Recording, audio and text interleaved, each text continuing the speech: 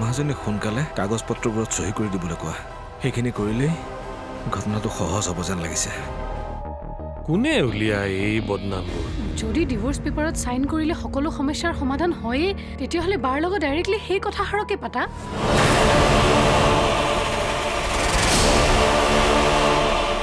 কথাবোৰ কিমান সঁচা মিষ্টাৰ ফুকন? আহিনৰ আবেলি উপভোগ কৰক আজি নিশা চাৰে আঠ বজাত আৰু চাৰে দহ বজাত।